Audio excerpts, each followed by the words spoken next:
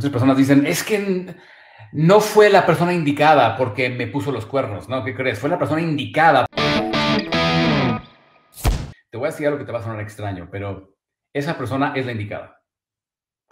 Ojo, no es, yo no dije, es la indicada para ser feliz para siempre, tener una relación bonita y tener bebés. No, es la indicada para ti en este momento de tu, en tu proceso de evolución. ¿A qué me refiero?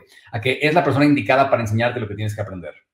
Incluso podría ser que esa persona, que esa relación termine en pleito y infidelidad y bueno, que era la persona indicada para enseñarte. Cada, cada experiencia que tenemos en nuestras vidas, cada experiencia que generamos en nuestras vidas con parejas, con dinero, con lo que tú quieras, viene a enseñarte cosas. Esa persona está siendo una maestra o maestro para ti. Entonces, esa persona es un reflejo de tu interior, es un reflejo de lo que tú necesitas aprender para ti mismo.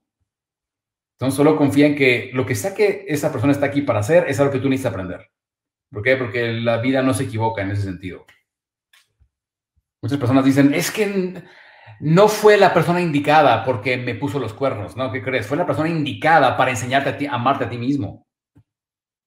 Fue la persona indicada para que aprendieras a amarte a ti misma o a ti mismo, para que entonces pudieras tener ahora sí una bonita relación con alguien fue la persona indicada. Entonces, cada quien está con la persona indicada para enseñarles lo que tiene que aprender. Eso no quiere decir que tienen que durar con ellos toda la vida, pues la relación puede terminar mañana y luego van a estar con otra persona que es la indicada. El problema es esta ilusión de que existe el amor de nuestras vidas. Y no existe tal cosa.